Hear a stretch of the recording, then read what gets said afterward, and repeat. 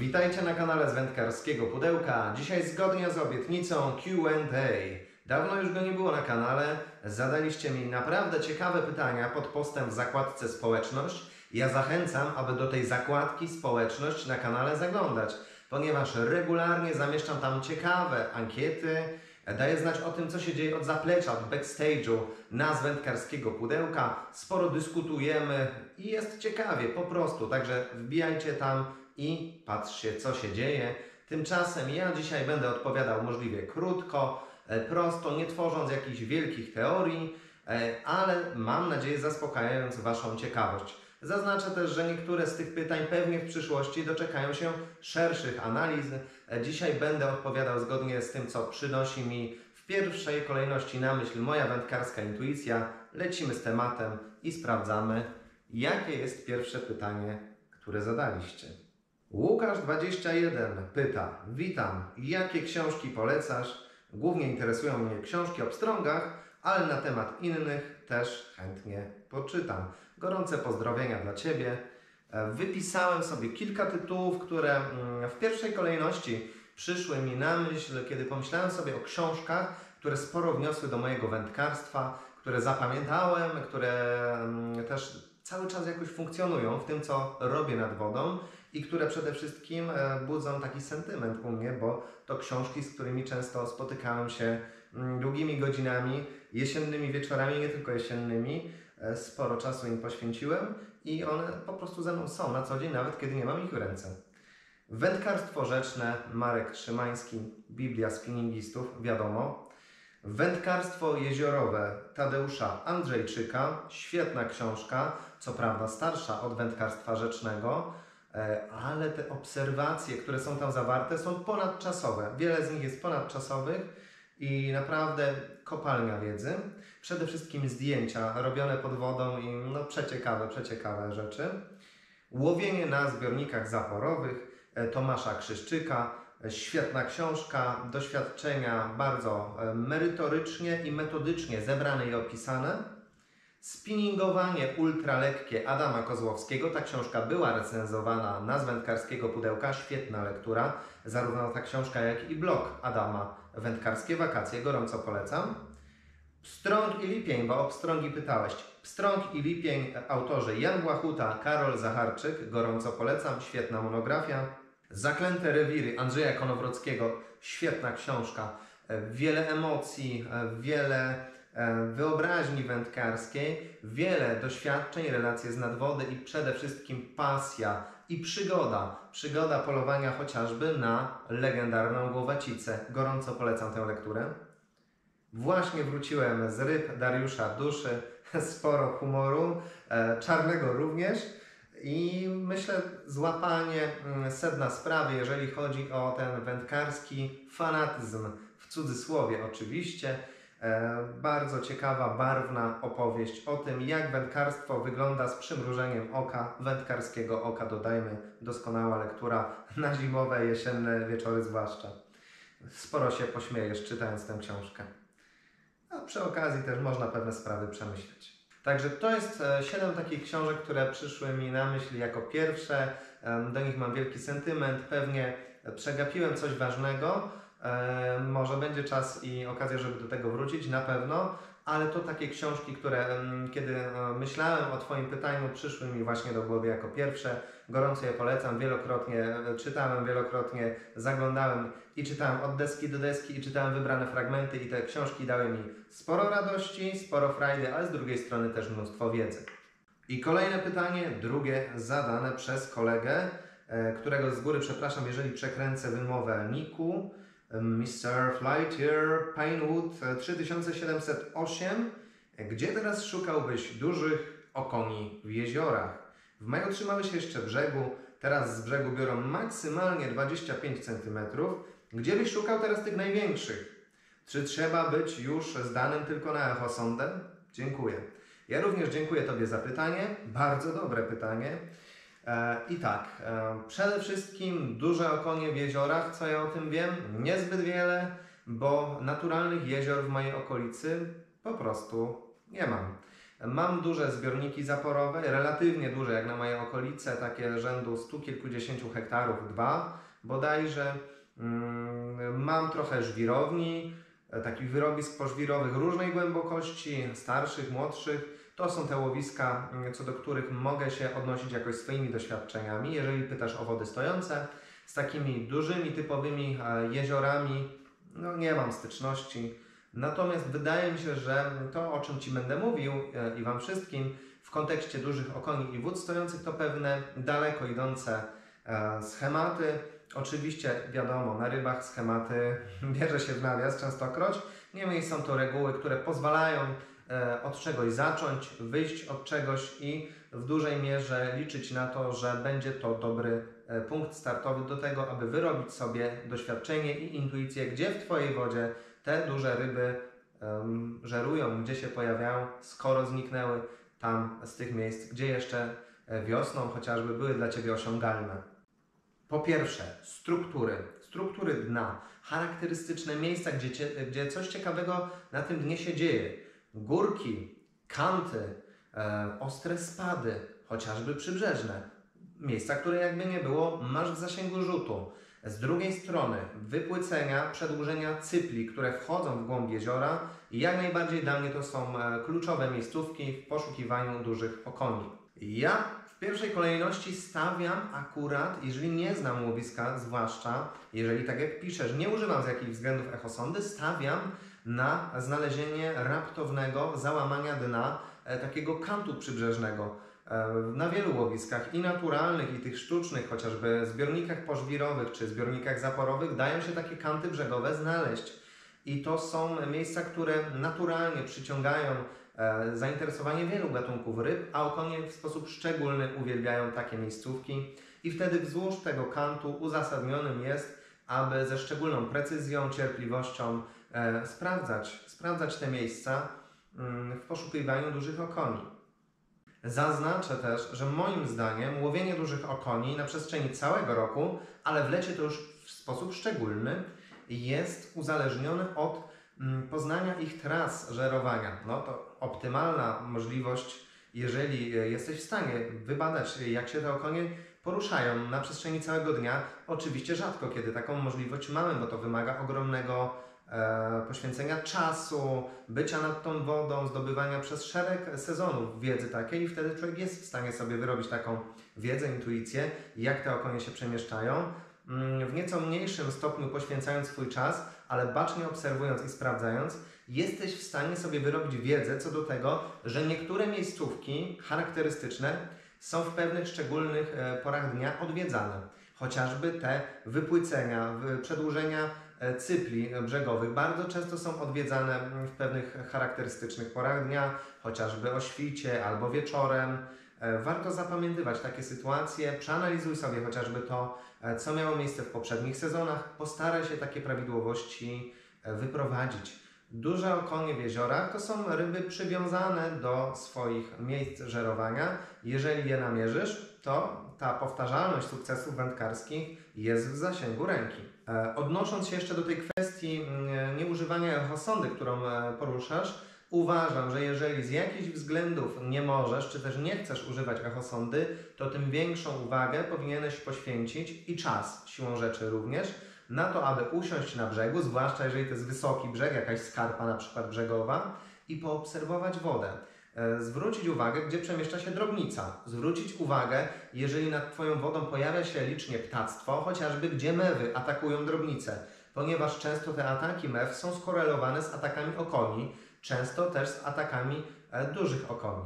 Rzuć koniecznie okiem na zdjęcia satelitarne e, tej wody, na której wędkujesz. Zobacz sobie na Google Maps chociażby i może to już Ci zobrazuje, gdzie jakieś charakterystyczne, właśnie jeszcze raz powtórzmy, struktury dna w zasięgu Twojego rzutu mogą się pojawić. Od takich miejsc możesz zacząć.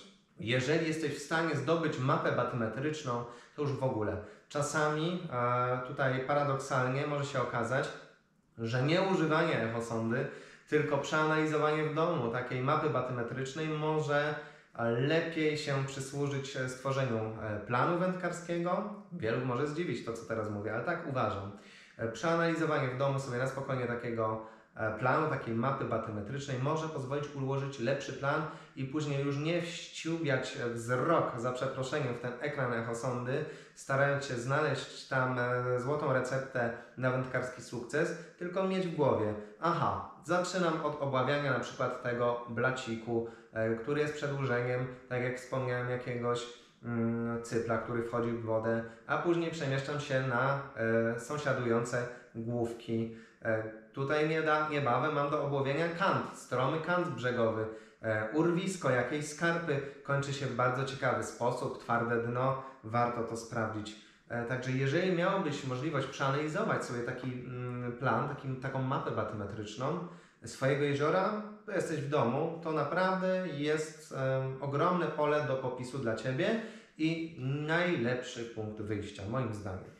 Czyli podsumowując, e, struktury ciekawe dna, e, raptowne, zwłaszcza spadki, wypłycenia jak górki, e, nieco mniej e, raptowne spadki, czyli takie wypłycenia chociażby przy cyplach brzegowych, wszędzie tam, gdzie pojawia się drobnica, wszędzie tam, gdzie atakuje wodne ptactwo, tam swoją przynętę zarzucaj, bądź czujny, bądź cierpliwy. Być może to nie jest tak, że te duże okonie całkowicie zniknęły z miejsc, gdzie wcześniej je łowiłeś. Być może po prostu są rzadziej aktywne w taki sposób, aby dawały się regularnie łowić.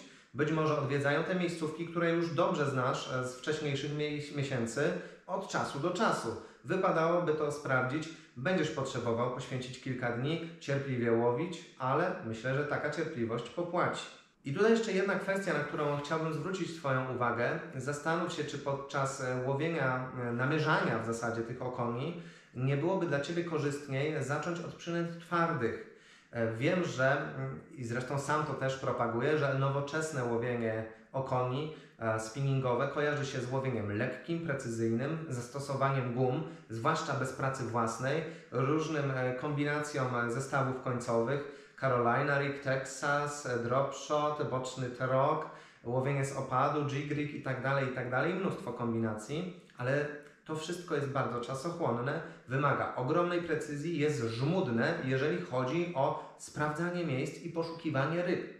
Czasami warto się zastanowić, czy nie lepiej byłoby sięgnąć po przynęty twarde, tak jak cykada, jak obrotówka, jak zapomniana przez wielu wahadłówka, jak wobbler, jak e, inne przynęty, które są tak zwanymi search które pozwalają e, przemielić kawał wody relatywnie szybko i po prostu przemieszczać się, e, rzucać cały czas em, okiem na to, co się dzieje na wodzie i szukać, szukać, szukać, bo to właśnie poszukiwanie tych dużych okoni jest kluczem do sukcesu. Jak już je znajdziesz, to oczywiście może być lepszy dzień, może być gorszy, wtedy możesz zacząć dłubać subtelnie, jaskółeczkami, wormami itd., itd., ale na pierwszy strzał e, w dużym jeziorze ja bym szukał tych okoni w taki sposób, jak Ci powiedziałem, zaczynając od ciekawych struktur dna i założyłbym na pierwszy strzał jakąś przynętę twardą. Stały mój widz, Gregory e, 3108, gorące pozdrowienia dla Ciebie. Pytam, żyłka, kolor i rozmiar, ale z jednym kołowrotkiem nie ma co wyruszać nad wodę. Przynęty zmieniasz, e, bo tego wymaga dzień, pora, słońce. Sporo o tym słońcu kolega wspomina w komentarzach, to bardzo mądra sugestia. E, Deszcz, mocny nurt rzeki, woda stojąca. W końcu e, tutaj pisze kolega o e, kamerce podwodnej, też bardzo ciekawy temat. E, I o obserwowaniu tego, jak ta przynęta zachowuje się pod wodą. Zresztą taki odcinek był na z wędkarskiego pudełka i jeszcze tego typu e, konwencji odcinki myślę, że będę kręcił, bo to bardzo, bardzo ciekawe materiały i pozwalające wiele rzeczy zrozumieć, które mm, na co dzień podczas łowienia mogą nie przedostawać się do naszej wyobraźni. E, Bardzo dziękuję Ci za ten komentarz, za to pytanie. E, Co do żyłki, ja e, praktycznie nie stosuję e, obecnie już żyłek, staram się w głównej mierze stosować plecionki. Mm, Natomiast plecionki też przy tym lekkim i ultralekkim łowieniu, tak jak to widzisz i widzicie w relacjach z nadwody, łączę z przyponami z fluorokarbonu. Dobór linki głównej łowię, tak jak wspomniałem, na plecionki. E, Staram się łowić możliwie lekko, możliwie cienko, ale na tyle grubo z drugiej strony, żeby sobie nie pluć w brodę. Jeżeli weźmie mi e, naprawdę dobra ryba i będę e, miał szansę ją wyholować, a coś ze względu na cieniznę zestawu mogłoby zawieść. Takiej sytuacji staram się nie dopuszczać. Oczywiście ultralekki spinning, który ja preferuję, mm, to naprawdę jest zmaganie się z wielkimi siłami przy użyciu relatywnie bardzo delikatnego sprzętu. Natomiast ten nowoczesny sprzęt, ultralekki spinning, to już są naprawdę świetnej jakości produkty i przy sprytnym holowaniu relatywnie duże ryby na relatywnie delikatny albo bardzo delikatny sprzęt dają się często bardzo szybko wyjąć. Krótko odpowiadając na Twoje pytanie, staram się stosować dosyć długie, relatywnie długie przypony z fluorokarbonu. Zazwyczaj to jest metr albo dłuższy przypon. E, I to daje mi takie poczucie, że nawet ostrożne ryby jak klenie, pstrągi w czystej wodzie e, nie płoszą się tak na widok mojego zestawu końcowego. Mm, lubię stosować e, plecionki ze względów, które wspominałem wielokrotnie na moich filmach lepsze wyczucie, mm, lepsze zasięgi rzutu i wiele innych przewag. Nie boję się stosowania kolorów tych plecionek dosyć jaskrawych, jeżeli daje mi to przewagę taką, że lepiej tę linkę widzę, ewentualne branie chociażby z opadu albo przy łowieniu e, bardzo delikatnym białorybu. Często właśnie obserwacja linki jest kluczowa. Pytałeś, na jakiej zasadzie zmieniam przynęty? Otóż mm, nie mam takich e, jakichś jasnych zasad, albo rzadko kiedy sobie tworzę jakieś schematy już nad wodą, e, że na przykład co 10 rzutów e, zmieniam, bo to jest troszeczkę mm, bez sensu, to troszeczkę mija się z celem. E, muszę i uważam, że Ty też musisz i każdy z nas musimy się zdać na swoją intuicję wędkarską i na swoje doświadczenie. I ważne jest, aby nie wpaść w tę pułapkę, którą ja wielokrotnie poruszałem w swoich materiałach, a szczególnie mocno podkreślałem ją w swoim materiale, w którym omawiałem e, własną teorię minimalizmu pięciu przynęt. To znaczy, mm, ważne jest, żeby mieć dużo przynęt spinningowych, ale w domu. I wybierając się na konkretne łowisko, e, analizując sytuację, jakie ryby będziemy starali się łowić, w jakich warunkach pogodowych, jaka jest, jaki jest stan wody itd., tak itd., tak aby już w domu wybrać kilka przynęt, czy to będzie 5, czy 4, czy 6, czy 7, kilka przynęt taki niewielki, zgrabny zestaw, który pozwoli Ci się jak najlepiej dopasować do warunków i e, w którym to zestawie te przynęty będą wzajemnie się od siebie różnić i wzajemnie uzupełniać swoimi możliwościami. Zwłaszcza łowiąc okonie, zmieniam przynęty relatywnie często, mm, ponieważ e, często zdarza się tak, że łowiąc w jednej miejscówce jedną, dwie, trzy ryby, myślę, że już e, wiem o co chodzi, nagle brania ustają, nie wiadomo co się okoniom przestało podobać. Często okazuje się, że po prostu ta sama przynęta w tej samej wielkości, tak samo uzbrojona, ale w nieco innym kolorze, z powrotem otwiera pyski rybom. Także okonie to tutaj bardzo częste zmiany przynęt, wtedy kiedy przestają brać. Przestają brać, zmieniam przynętę. Pstrągi, dopóki nie znajdę przynęty, która relatywnie w danej sytuacji daje więcej brań, no to kombinuję, staram się zmieniać. E, tutaj już czasami oczywiście jest to pułapką, ale czasami po prostu zdaje się na intuicję, mm, obserwuję to, co zastaje nad wodą i coś mi podpowiada. Piotrek, dzisiaj obrotówka, złota numer jeden, którą widzieliście mm, na kanałach. I ta intuicja wędkarska to jest nic innego jak zbiór naszej wiedzy, doświadczeń, uświadomionych bądź nieuświadomionych, które przepracowaliśmy nad wodą i które w naszej wędkarskiej świadomości, w naszej wędkarskiej wyobraźni i głowie funkcjonują i trzeba na tę intuicję w coraz większym stopniu e, zdawać się.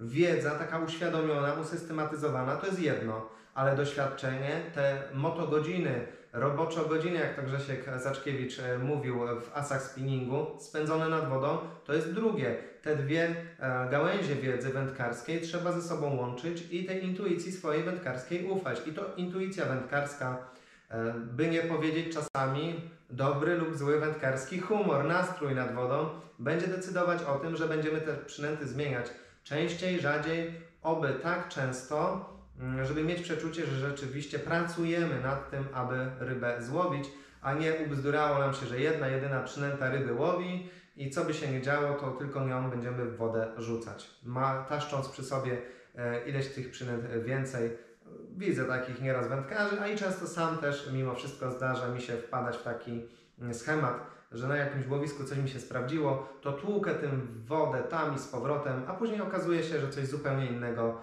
dużo lepiej skutkuje. Także staram się kombinować, aż e, moja intuicja podpowie mi, że rzeczywiście to jest to intuicja intuicją, ale ryby też dadzą, dadzą znać po prostu e, swoimi braniami, że tak, e, jedna przynęta jest danego dnia lepsza od innej.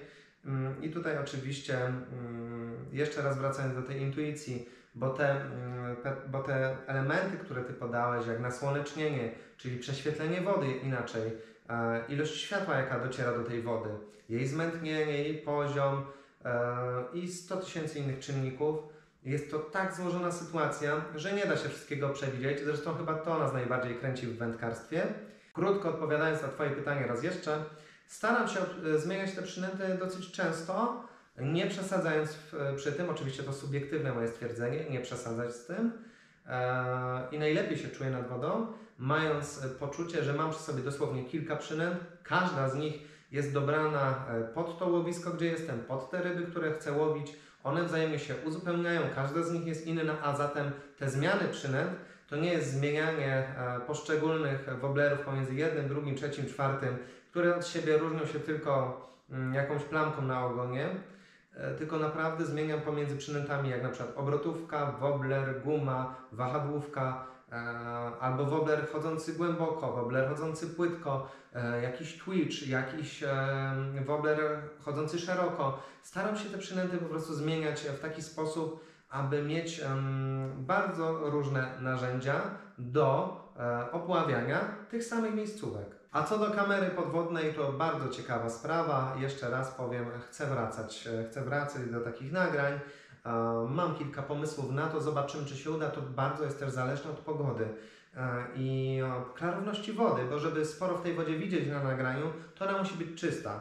Chociażby późną jesienią, wiadomo, ten zakwit wody, wszystkie osady i tak dalej, wszystko to e, robi się nieco mniej uciążliwe i to jest na przykład dobra sytuacja do tego, aby ryby pod wodą kręcić. W rzekach chętnie też bym pokręcił trochę tego. Zobaczymy. E, Na pewno postaram się, aby w tym sezonie coś takiego jeszcze wypuścić. A co do samego e, oświetlenia wody, prześwietlenia wody, ilości słońca, jaka dociera, no mega ciekawe zagadnienie, nie do końca zgłębione, e, myślę przez wędkarzy. E, Taka ogólna myśl, taki stereotyp krążący wśród wielu spinningistów, że dni pochmurne są najlepsze na drapieżniki. No, to jest zbyt daleko idące uproszczenie i wcale nie jest to złota reguła, która sprawdza się w każdej sytuacji. Wręcz przeciwnie, wiele sytuacji jest takich, że w pochmurnych dniach tylko te momenty, kiedy słońce relatywnie mocno przebija z chmur, e, są momentami, w których ryby się uaktywniają. I na odwrót, e, w dniach słonecznych, e, tylko momenty, w których słońce kryje się za chmurami, potrafią być wyjątkowo dobre i ryby potrafią nas po prostu zaskakiwać. E, Warto jest analizować sytuację i ja jeszcze nie potrafię takich jednoznacznych wniosków e, wysnuwać co do oświetlenia, ale z biegiem kolejnych sezonów dostrzegam, jak ogromną rolę ono e, odgrywa i będę starał się takie prawidła też wyciągać, dyskutować je z Wami, z innymi wędkarzami, może jakieś myśli z tego wyklarujemy. Kolejne pytanie zadał kolega Esox69. Jakie masz doświadczenia z wokami z grzechotką? Chodzi dokładnie o pstrąga. Bo zauważyłem, że one się tego boją. E, Coś im nie pasuje. Pozdro z Pomorza Piotrze. Gorąco pozdrawiam Cię z Rzeszowa. E, Ciekawe pytanie. Niestety e, przyznam się, że ja nie mam wielkich doświadczeń z woblerami z grzechotkami, a już z woblerami z grzechotkami i pstrągami to ani tyle. Także wybacz, nie będę tutaj tworzył jakichś dziwnych teorii, nie mając doświadczenia. E, Jednokrotnie mm, miałem ładnego pstrąga na salmostinga, e, łowiąc klenie wczesną wiosną na dużej podgórskiej rzece. E, Ten wobler posiada kulki w pustym korpusie, także to grzechocze w wodzie, kiedy je prowadzimy, kiedy prowadzimy tego wopka. Mm, Raczej grzechocze subtelnie, nie robi to wielkiego szumu. Piękny to był pstrąg. Na tamten czas to pewnie była moja nowa życiówka, nie doszła, bo się pstrąg spiął. Tak grubo za 55 cm, 60 ciu to może nie miał, ale no piękny pstrąg, samiec z kufą. E, Strzelił w tego woblera w mocnym nurcie, wyskoczył mi, spiął się. Ja próbowałem oczywiście, tam wracałem raz, drugi, trzeci, ale już bez skutku. Tylko klenie już później łowiłem. E, Wiem, że na Salmostinga były łowione pstrągi też w innych wodach, przy innych okazjach. E, co do woblerów z grzechotką na pstrągi, nie wiem.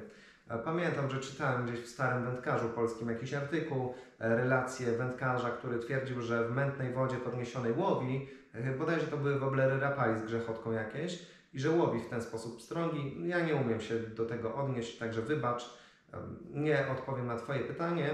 Mm, Wydaje mi się, że nie powinno to płoszyć pstrągów. Myślę, że tu chodzi raczej o, raczej chodzi o akcję woblera, a nie tyle o sam dźwięk. E, Ale jeżeli Ty masz doświadczenia jakieś, bo piszesz, że Twoim zdaniem płoszą się pstrągi, napisz o tym, ja bardzo chętnie poczytam. E, Tak jak mówię, nie będę tutaj udawał, że mam jakieś przemyślenia, bo po prostu nie wiem. Wędkarz 123 pyta, jakbyś mógł do końca życia łowić na jedną przynętę i tylko jeden gatunek, to jakie by to były? Ryby i przynęty. Oj, oj, oj, oj, ale mnie wpędziłeś w tarapatę. Dobra, pytanie jest na pół serio, odpowiedź też będzie na pół serio. Oczywiście, że e, Tanta Superkontynent i pstrągi potokowe. Chociaż powiem Wam szczerze, że mm, myśląc o tym pytaniu, krótko, przyszło mi do głowy, że ja najchętniej to łowiłbym i tutaj wielu zszokuje i wielu może będzie e, też wędkarzy, którzy wystosują jakieś protesty. Ja najchętniej, z największą przyjemnością łowiłbym zdziczałe pstrągi tęczowe. Dlaczego? Ponieważ to ryby piękne, estetycznie, ryby bardzo silne, ryby, które stanowią ogromne wyzwanie dla wędkarza, kiedy już spędzą e, trochę czasu, wiele miesięcy, lat w wodzie, naprawdę robią się niezłymi cwaniakami. E, Miałem takich ryb sporo na kiju i to prawdziwe petardy. No i marzy mi się, żeby kiedyś się wybrać gdzieś, em, no obecnie to już chyba za granicę tylko, poszukać takich zdziczałych tęczaków, e, grubych, z jakiejś ciemnej wody wybarwionych. Ach, więc może te pstrągi tęczowe? A o tancie powiedziałem dlatego, że gdybym mógł się zdecydować tylko na jedną przynętę, to chciałbym, żeby to była przynęta dobra, tania, żebym nie musiał się martwić o to, że urwę ją w danym miejscu trudnym, a pewnie obfitującym w ryby. Przynęta sprawdzona, a jakże inaczej. Przynęta dosyć uniwersalna i przynęta gumowa, ponieważ taką przynętę mogę uzbroić na wiele różnych sposobów i dostosować się do sytuacji. Także jeszcze raz, pstrągi potokowe i tamta od Superkontynent, a gdzieś tam po cichu dodam te tęczaki z dziczała. I ostatnie pytanie od kolegi Han124. Skąd czerpać wiedzę na temat ryb, ich cyklu i sposobu życia, zwyczajów żywieniowych i tym podobnych kwestii, a także środowiska wodnego? Wiedza w internecie jest strasznie fragmentaryczna, płytka lub oparta na przekonaniach. E, Zgadzam się. Współczesne książki wędkarskie traktują temat pobieżnie, nie wszystkie, a stare sprawdzone pozycje są dostępne jedynie w antykwariatach, no i w bibliotekach dodajmy. E, Czy jest coś podobnego do jak łowić duże klenie, ale z nastawieniem na sandacza szczupaka? E, Chętnie poczytałbym specjalistyczną literaturę na ten temat. Dziękuję Ci za to pytanie. E, Słuchaj, no mamy podobne zdanie. E, Też uważam, że książki są najlepszym źródłem wiedzy, przynajmniej na start. To one dają taką bazę, od której później można wyjść, do której można odnosić swoje pojedyncze doświadczenia, które z biegiem lat się nawarstwiają. Także książki w pierwszej kolejności oczywiście. Spinningowanie ultralekkie, chociażby, które polecałem i recenzowałem na swoim kanale. Doskonała pozycja, nowa, dopiero co wyszła, świeżutka. E, Ja żyję nadzieją, że tych pozycji będzie wychodziło e, coraz więcej. Mm, Myślę, że po prostu trzymajmy kciuki i dopingujmy e, naszych blogerów, e, youtuberów, innych e, autorów treści dedykowanych do wędkarzy, którzy poszukują wiedzy, takich autorów, którzy mają coś do powiedzenia, do tego, aby książki pisali po prostu. Mm, Ja byłem zaskoczony, mm, chociażby odwiedzając Bibliotekę Uniwersytecką Uniwersytetu Rzeszowskiego, że tam można znaleźć e, książki e, o tematyce wędkarskiej. Także polecam zajrzeć do biblioteki, jakiejś dużej biblioteki, e, sprawdzić chociażby online, czy w ich zbiorach jest coś takiego dostępnego nie tylko w antykwariatach, ale może i tam znajdziesz coś dla siebie. Poza książkami ja z, e, lubiałem czasopisma wędkarskie, te stare. Wędkarza polskiego bardzo lubiałem i dalej lubię sobie pogrzebać w tych starych numerach. i coś tam ciekawego zawsze znajdę i mam do tego sporo e, sentymentu, a przede wszystkim do tych artykułów, e, które stanowiły mm, doświadczenia wędkarzy łowiących na jakichś e, wodach, e, ich opisy metod, przynęt, bardzo ciekawe relacje z nadwody. Obecna prasa wędkarska, nie wiem jak wygląda, bo nie czytam od kilku lat, żadnego czasopisma wędkarskiego. E, Czytałem, oczywiście kupowałem, ale byłem tak znużony czytaniem po raz enty e, takiego samego artykułu, e, zmienionego delikatnie tylko, co roku w marcu, kleniojazie na woblery z wiślanych odrzańskich główek, ludzie po prostu, dobra, i na tym może poprzestanę. Flaki z olejem, także odpuściłem sobie, czytanie wędkarskiej prasy. Oczywiście od czasu do czasu trafiają się artykuły, które są prawdziwymi perełkami, natomiast kupowanie gazety i przeglądanie kilkudziesięciu stron, które mnie nie, nie interesują, aby znaleźć bądź nie jedną, dwie strony, które będą tym czymś e, konkretnie dla mnie, no powiedzmy, że nie, to nie do końca się w tym widzę, dlatego ja nie kupuję. E, Stare, stare wydania wędkarza polskiego, wiadomości wędkarskich jak najbardziej e, lubię. Innych gazet również. Wędkarstwo moje hobby miewało bardzo dobre artykuły. W wędkarskim świecie też tam no, czasami coś znalazłem, czasami coś tam znalazłem.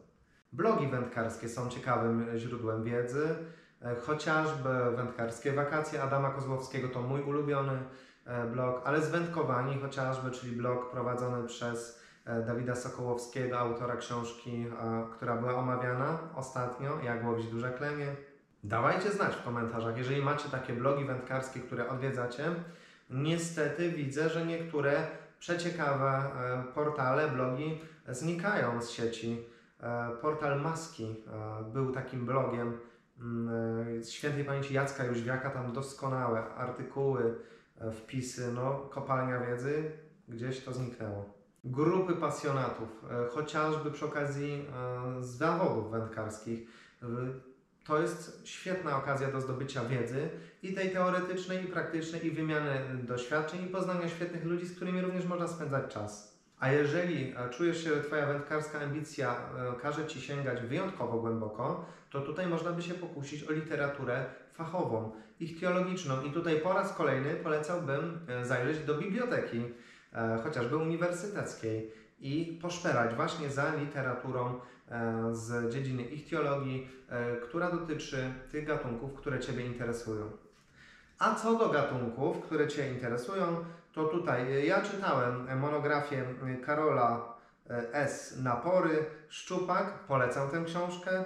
Nie czytałem, ale warto myślę zajrzeć e, do monografii Sandacz Zbigniewa Zalewskiego. Bardzo dziękuję za wszystkie Wasze pytania, za to, że znowu spędziliśmy ze sobą czas. E, Liczę na to, że w komentarzach dacie znać o swoich doświadczeniach, o swoich e, przemyśleniach i podyskutujemy troszeczkę. I właśnie takie dyskusje sporo, e, sporo wprowadzają świeżości do naszego myślenia, inspirują do nowych metod, przynęt, łowisk itd., itd. I to właśnie w dyskusji, wymieniając się swoimi doświadczeniami, swoją praktyką, możemy stawać się lepszymi wędkarzami. Jeżeli e, odcinek się Wam podobał, oczywiście proszę o łapy w górę. To przyczynia się do tego, że on ma większe zasięgi. Jeżeli nie subskrybujecie jeszcze z wędkarskiego pudełka, zjedźcie teraz na dół, kliknijcie przycisk subskrypcji i dzwoneczek, a wtedy nie ominą Was nowe materiały. Jeżeli macie ochotę wspierać to, co robię, to macie taką możliwość za pośrednictwem platformy Buy Coffee Tu, którą podlinkowuję w opisie filmu i w komentarzu pod filmem. Możecie postawić mi wirtualną kawę, za co gorąco dziękuję. Dawajcie znać, co tam u Was, piszcie e, i do zobaczenia w kolejnych materiałach na z wędkarskiego pudełka. Trzymajcie się ciepło i łamcie kije na wielkich rybach.